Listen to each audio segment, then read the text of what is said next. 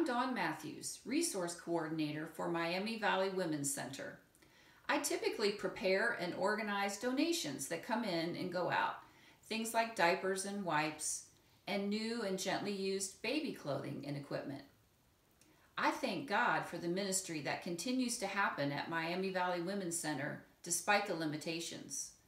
But like many of you, I've been sidelined by the stay at home orders.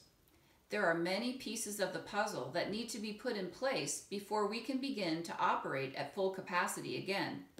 And we're preparing for what will be a season of crisis for women who need help, hope, and unconditional love. One small piece is providing face masks for clients who come in for an ultrasound or a pregnancy test without one. So that's what I'm working on today. I'm just doing what is in my hands to do, but every small part is part of a big vision that every person in the Miami Valley will experience gospel transformation that empowers them to choose life for their unborn children and God's design for sexual purity. You have a part to play too. What will it be?